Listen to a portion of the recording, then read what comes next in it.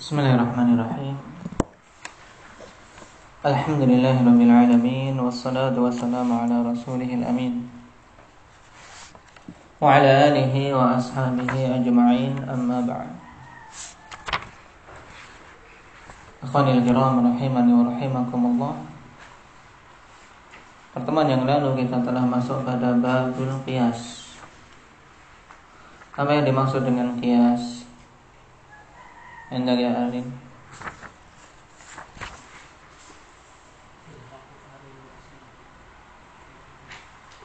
الحاق فرع بأصل في حكم لعلة جامعة بينهما طيب hukum yang dimaksud di sini hukum apa? Hukum syar'i. Baik. Apa dalil disyariatkannya kias indah ya Talha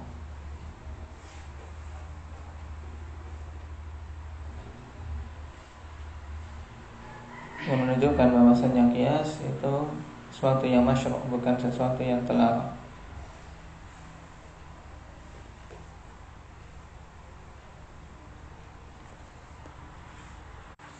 Qala Allah Azza wa Jalla fi surati Syura Allahu alladhi anzala al-kitaba Sisi pendalilannya mana? Mizan maksudnya? Al-adil dan? Kalau sekedar adil saja tidak bisa. Nah, yaitu adil dan hal-hal yang dengannya diketahui suatu keadilan. Yang berupa apa? Muqayasatil umur. Menimbang-nimbang perkara. Nah, memperbandingkan sehingga tersampai keadilan. Tapi dalil yang lain apa-apa saya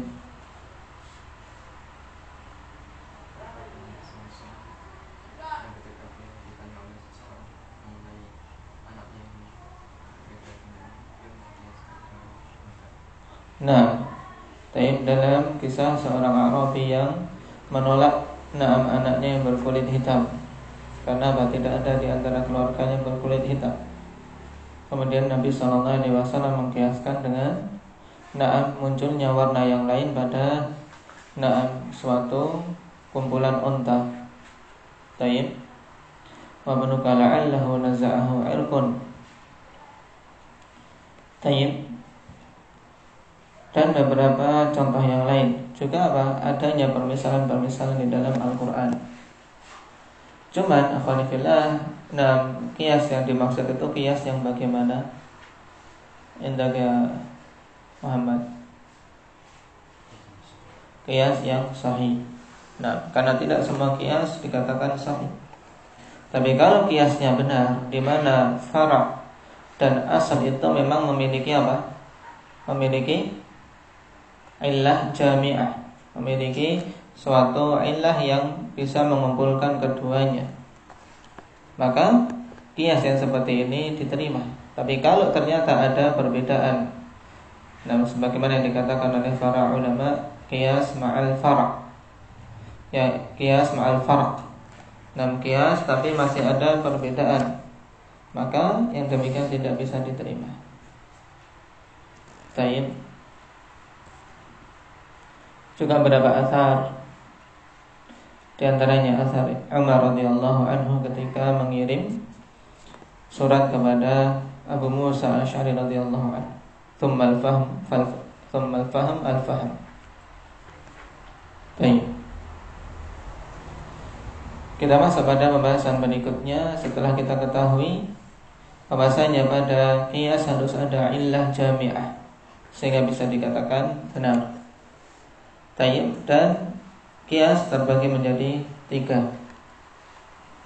Qala rahimahullah ta'ala Awaluha makana fihi illah Mujibatan lil hukmi mustaqillah.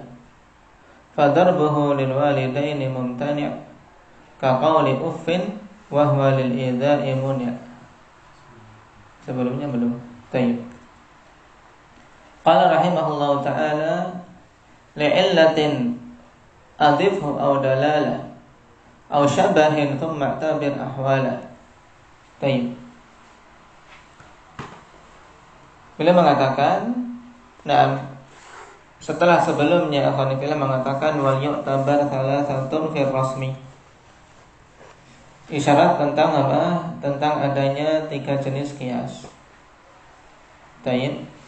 Nah, baru di bait yang ke-158 beliau nah sebutkan ketiga jenis tersebut. Beliau katakan li'illatin adhifhu aw dalalah aw syabahin thumma tabir ahwala. Nah, هذا تقسيم للقياس إلى ثلاثة أقسام وهو ما أشار إليه بقوله في البيت السابق وليعتبر ثلاثة في الرسم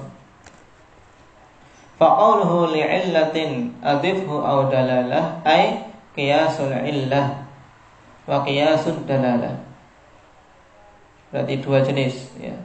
Illatin adifhu au dalalah. Ya qiyas illah, yang kedua qiyas dalalah.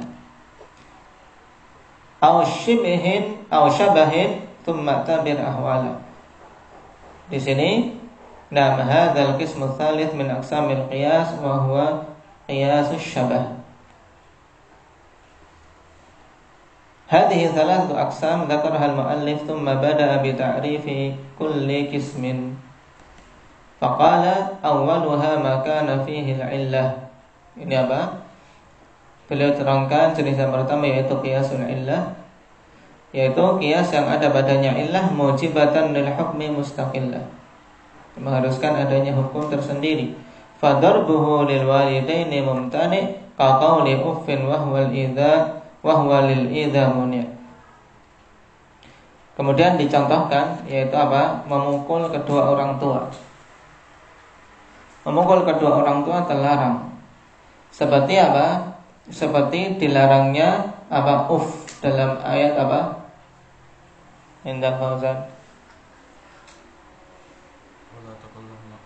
Takul lahuma uffin. Yang dilarang adalah mengucapkan uff. Cuman bukan berarti kemudian oh yang dilarang uff saja. Berarti kalau nah memukul, menghardik yang lainnya, nah yang selain uff ini boleh. Nah, Kenapa? Karena naam diketahui illah yaitu apa? Lil idza karena adanya adiyah menyakiti orang tua. Taib, maka dilarang hal-hal yang seperti itu atau bahkan lebih dari itu. Ini maksud contoh ya dengan kias illah ini.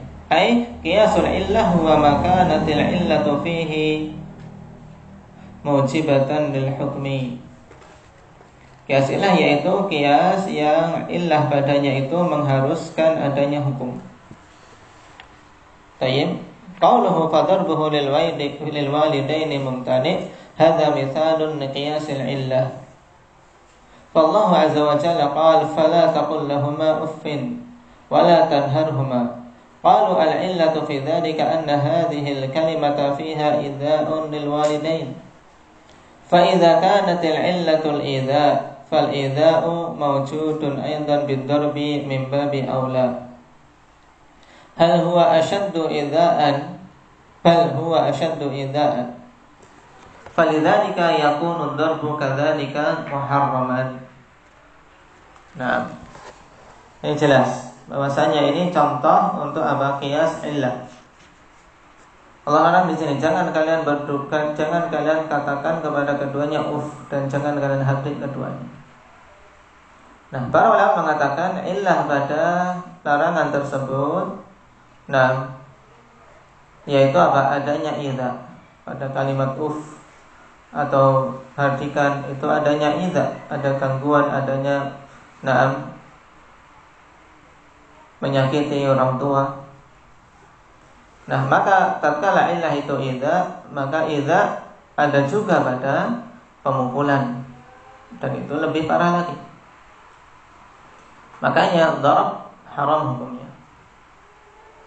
Illah wa huwa ma kanat al illatu fihi mujibatan lil hukmi yang kasimu ila kismain Nah, kias ilah ini terbagi menjadi dua. kiasun jali wa kiasun khafi.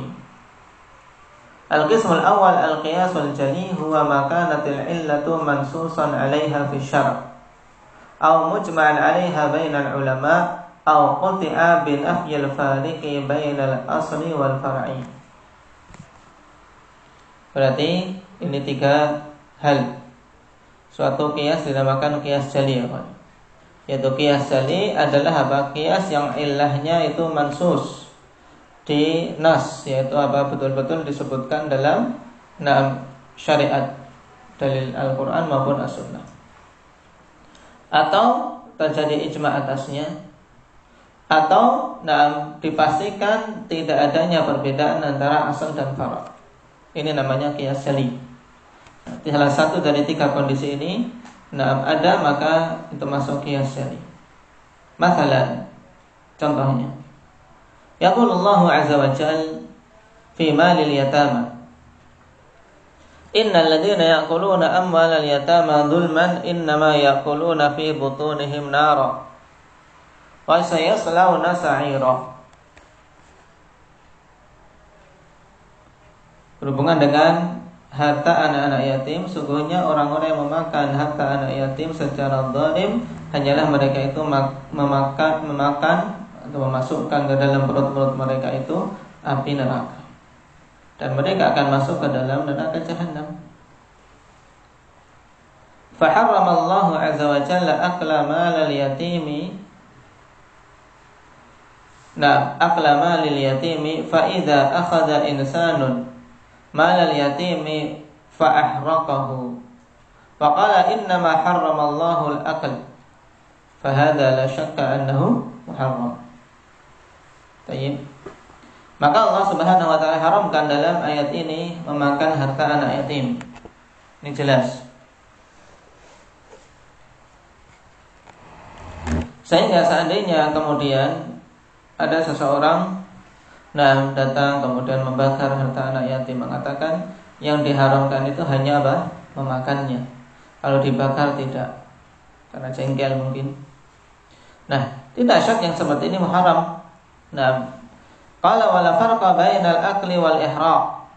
Tidak ada perbedaan antara memakan harta anak yatim dan menghanguskannya atau membakarnya. Faquti'a bin afil farik maka dipastikan dengan tidak adanya perbedaan. Wala syakka annahu yashmaluhu al-wa'id al-madhkur fil ayat.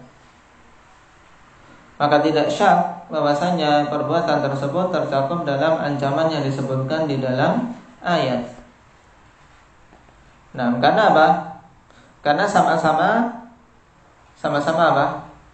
Menggunakan atau menghilangkan harta anak yatim tersebut tanpa tanpa hak. Wakadzalika nahyu 'anil bauli fil ma'ir raqid ma'al bauli fil ina thumma sabbahu fi dzalikal ma' Hal hunaka farqun? Demikian pula larangan dari apa? Dari kencing di air yang diam apa dalilnya? Larangan dari kencing di air yang diam.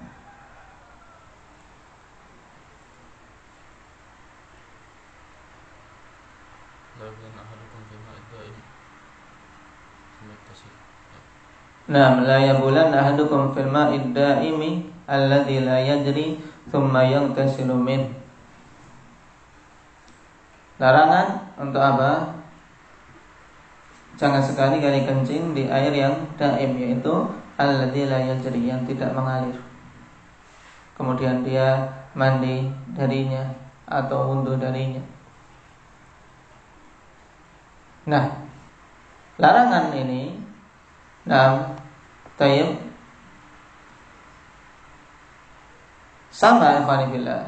Nah, ketika dibandingkan dengan apa? Kencing di apa di suatu bejana di wadah di aqua atau aqua atau apa kemudian apa ditumpahkan ke air yang diam tadi paham Nah, hal farqun apakah di sana ada perbedaan antara kedua perbuatan itu? Yang satunya mancur langsung. Nah, yang satunya di nah, tampung dulu dengan nah botol kemudian baru di dituang. Baik maka la yujadu farqun, tidak ada perbedaan antara keduanya. Nah, fal baulu fil ma'ir raqid muharram nah Nabi sallallahu alaihi wasallam an yubala fil ma'ir raqid. Sebab nah kencing di air yang diam tergenang itu hukumnya haram. Nabi wasallam melarang dari kencing di air yang diam tergenang tidak mengalir. Ini maksud al-ma'ur atau al-ma'ud sama. Fakadzalikal baulu fi ina'in wa sabbahu fi dzalikal ma' la. Demikian pula kencing dalam suatu bejana kemudian dia tuang nah ke air yang diam tersebut. Ini juga tidak boleh. Nah, khilafan Ibn Hazm fa innahu ajazahu bi hujjatin anna an-nahya 'anil bawli fil ma'ir raqidi mubasharatan wa hadha min jumudihi alladhi aiba. Nah, berbeda dengan Ibnu Hazm karena sungguhnya dia membolehkan dengan alasan larangan naam ya, untuk kencing di air yang diam itu ketika langsung. Tapi ketika tidak langsung, naam di wadai botol kemudian disiramkan ini boleh menurut beliau dan ini termasuk jumud. Naam termasuk jumud yaitu apa? Naam pemahaman yang terlalu apa? Terlalu pendek. Nah, tidak memaham tidak apa memikirkan illah kenapa dilarang tapi, tapi berpatokan hanya zahir hadis saja yang dicela atas beliau. Nah, li'annahu laisa hunaka farqun baina surataini fanafyul faliqi maqtu'un bi. Nah, dikarenakan tidak ada perbedaan antara kedua bentuk tersebut. Nah, maka nah ditiadakan perbedaan antara keduanya dengan pasti. Ini contoh untuk apa? Dengan apa? Nafyul farik bainal asli wal far'i. Wal illatul mansusu 'alaiha ka illatil iskar fil khamri. Dan contoh illah yang mansus 'alaiha yang datang nas seperti apa? Illah iskar pada khamr. Nah, Nabi Sallallahu Alaihi Wasallam mengatakan kullu muskirin khamrun wa kullu muskirin haram. Nah, fal khamru hurrima bi illatil iskar. Maka khamr di sini diharamkan dengan apa? Dengan illah adanya apa? Iskar. Yaitu nah memabukkan. Al hashishu wal bi jami'il iskar maka diikutkan dengannya hashish dan mukhaddirat. Nah, taib, ganja maupun narkoba.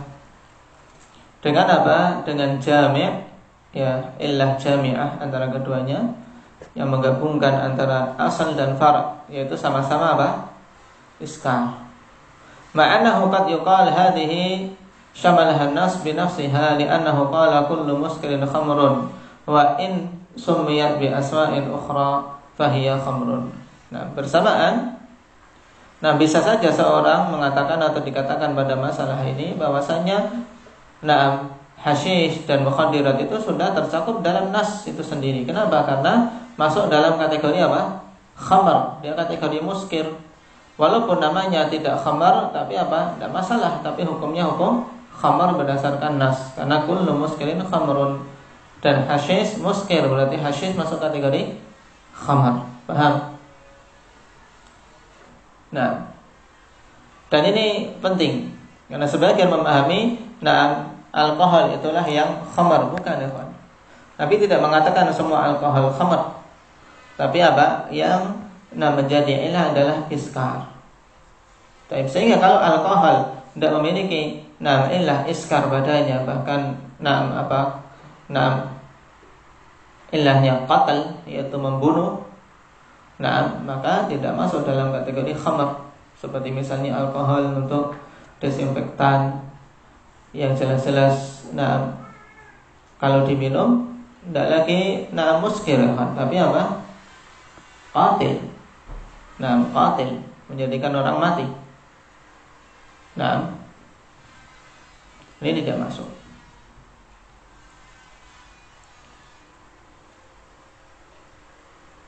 Kalau untuk kemudian apa? Kegunaan sebagaimana asal digunakan untuk pembersih misalnya untuk desinfektan, untuk naam antibakteri pada alat-alat kesehatan dan seterusnya. Tapi kalau kemudian ada penyalahgunaan, nah ya bagi orang yang menyalahgunakan itu haram ketika misalnya diminum. Sebagaimana orang minum baikon, ya tetap oh ini bukan khamar, tapi kan nah haram dengan dalil yang lain. Apa dalilnya? Dengan dia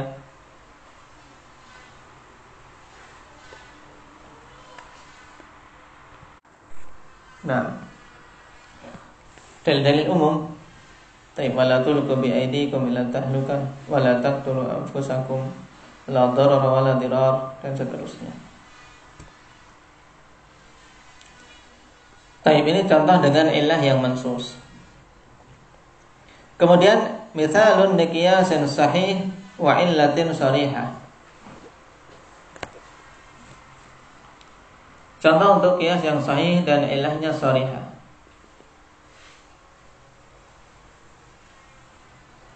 Hadis Ibnu Mas'ud radhiyallahu anhu fi sahihain. Idza kuntum thalathatan fala yatanajasnani dunal akhar hatta takhtalitu bin nasi min ajli an dzalika yuhzinu.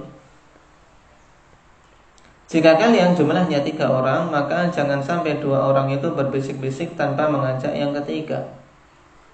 Sampai mereka nah, bercampur dengan manusia sehingga jumlahnya tidak hanya sekedar tiga. Paham? Sehingga sudah lebih banyak yang satu ini pun bisa ngomong dengan yang lain ketika dua orang mau berbisik-bisik.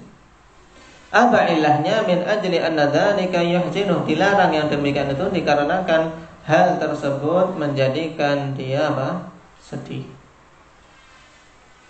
Fadabatatil illatu fil hadithi nafsihi min ajli anna dhalika yuhzinu. Ya ilahnya sabit dalam hadis itu sendiri. Wa ala dhalika falau wujida ashratun fatanajan fatanaja thamaniyatun dunatnan hal yajuzu dhalik la yajuzu dhalik maka berdasarkan hal ini seandainya jumlahnya 10 ya, Didapati 10 orang Kemudian 8 orang bisik-bisik Ditinggalkan dua orang saja Kira-kira dua orang ini gimana? Tentunya nah, Masuk dalam apa? Dalam ilah hadith ini Taib. Maka dikatakan hal yang justru tadi apakah boleh seperti itu? Tidak boleh. Nah, kenapa? Lianna dzalika yuhzinuhum. Dikarenakan demikian itu menjadikan mereka berdua sedih. Kenapa kami berdua di nah, dikesampingkan dan diikutkan? Taib. Fanafsul illati nam taltahiku fiha hadhihi surah wal amthalatu ala dzalika katsira. Nah, dan ilahnya sama. Ya, ilahnya sama yaitu adanya apa? Tahzin yaitu menjadikan orang sedih maka diikutkan dengan bentuk tersebut dan contoh-contoh untuk yang demikian itu banyak ini kias yang jeli kemudian yang kedua wal kiasul tsani al kiasul khafi wa huwa ma kanat illatuhu mustanbatatan laysat mansusan 'alaiha yaitu kias yang ilahnya mustanbatah tidak mansus nah tidak tegas dalam nas. Tapi apa? Mustambatah yaitu hasil pemahaman, hasil istimbat. Tidak pula mujma'an 'alaiha, tidak terjadi ijma' atasnya. Wala quti'a bi nafyil fariqi bainal far'i wal asal. Tidak pula apa? Dipastikan tentang tidak adanya perbedaan antara fara' dan asalnya. Ay qad yujadu furuqun bainal far'i wal asli wal illatu mustanbatah. Maksudnya terkadang nah, didapati perbedaan-perbedaan antara farak dan asal. Dan illah yang ditarik darinya adalah illah mustambatah. Nah inilah yang banyak terjadi khilaf Nah illah yang ditetapkan hasil pemahaman masing-masing. Nah contoh Misalnya dari ikhtilaful ulama fil ribawiyat perbedaan para ulama tentang barang-barang ribawi. Ja'an nasu bisittati asya Nas datang bahwasanya barang-barang ribawi pada enam perkara. Taib az-zahabu bil-zahab wal fiddah bil fiddah wal bur bil bur wal sya'ir bil sya'ir wal tamar bil tamar wal milh bil milh mithlan bi mithlin sawa bi sawa'in yadan bi yadin. ثم اختلف العلماء في تحديد العلة وإلحاق غيرها بها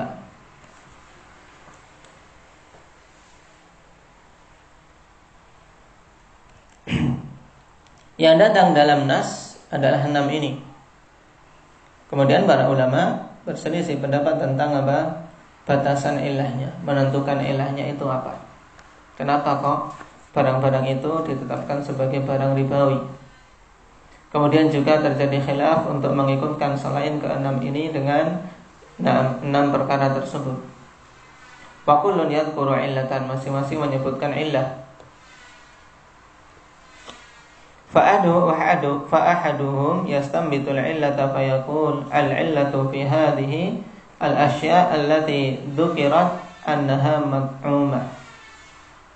Sebagian mereka menyebutkan ilahnya adalah na'am karena barang-barang itu mat'umah dimakan. Maka berarti kesimpulannya kalau ilahnya mat'um karena itu dimakan berarti apa? Kesimpulannya jadinya apa? Fakul mat'umin ya jadi fihi riba. Semua barang yang dimakan maka berlaku padanya riba. Ini contoh. Wa akhar yaqul al-illatu fiha annaha tuqtatu wa tuddakhar. Yang lainnya mengatakan ilahnya adalah tuktat yaitu sebagai bahan pokok. Bahan makanan pokok dan bisa disimpan lama. Contohnya tamar, bahan makanan pokok disimpan lama bisa. Demikian pula zabib. Nah, tapi demikian pula apa di sini syair. Kemudian apa? Milah menurut mereka pokok. Nah, tayyib pur. Nah, fakulu maka nakutan wa yudakhar fihi riba. Maka semua nah barang yang merupakan bahan makanan pokok dan bisa disimpan lama maka padanya riba. Contohnya apa? Kalau di negeri kita berarti beras. Menurut pendapat ini berarti beras masuk dalam barang ribawi. Wa ba'duhum yaqul al-'illatu fiha annaha tukal. Fa kullu makilin yajri fihi riba ila akhirih. Yang lainnya mengatakan ilahnya adalah karena ditakar. Maka semua barang yang jual belinya dengan ditakar berlaku padanya riba dan seterusnya. Cuma dari sekian itu afanifillah dikatakan oleh Syekh walam ya'ti nassun fil illah lidzalika ra'a ba'du ahli ilmi al-ikhtisara ala sittatil madhkurah. Ya, tidak datang nas tentang illah tentang berhubungan dengan barang-barang ribawi ini. Oleh karena itulah sebagian ahli ilmi berpandangan untuk mencukupkan diri dengan enam yang disebutkan. Wa ghairuha minal makilat yu'tabaru na'am aktsaru ahwaliha syabhatan syubhatan. Na'am. Taib. Nah, wa ghairuha minal makilat, wa ghairuha minal makilat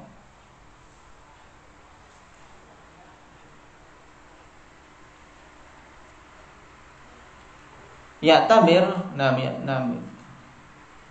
ya tabir aksara ahwaliha syubhatan fatajtanib atau fatajtanab bisa.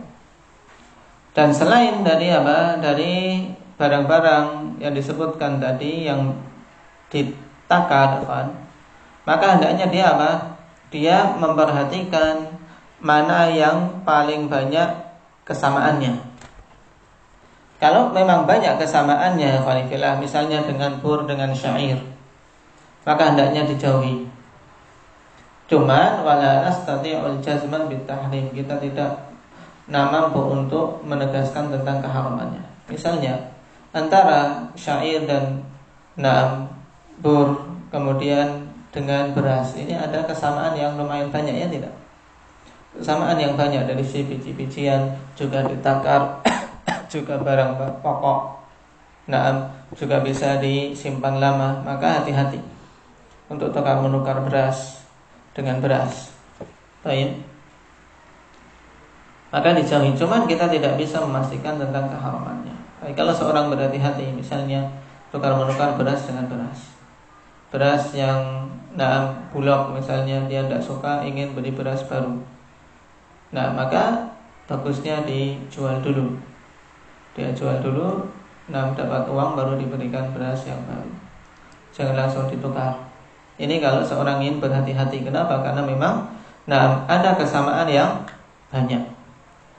Walaupun kita tidak bisa nah, memastikan bahwasanya itu hal yang haram. Cuma sebagai bentuk kehati-hatian. Makanya di sini Syekh menyarankan untuk apa? Tujtanab, dijauhi. Wa hadhihi al-mas'alatu anna al-qiyas al-khafiyya laysa bihujjah. Wa in wuffiqa al-qa'isu lil qiyas sahih fayakunu hujjatan bisababi annahu na'am wuffiqa lil haqq. Dan permasalahan ini panjang khilafnya yang menjadi inti bahwasanya kias khafi bukanlah hujjah. Dan seandainya seorang yang mengkias diberi taufik untuk bisa mengkias dengan sahih maka hujjah nah maka menjadi apa hujjah dengan sebab dia mencocoki al-haq. Paham? Jadi kias yang sahih hujjah.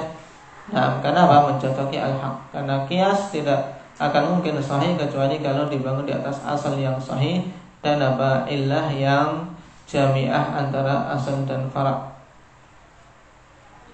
ada nah dengan apa keberadaan yang bisa nah seorang yakin tentangnya baik dengan nas atau dengan ijma ataukah dengan apa yakinnya tentang tidak ada perbedaan antara keduanya nah, ini Nah, kias illah yang terbagi jadi dua. Nah, jali dan khafi. Tayyib. Barakallahu fikum. Nanti bihadza walhamdulillah.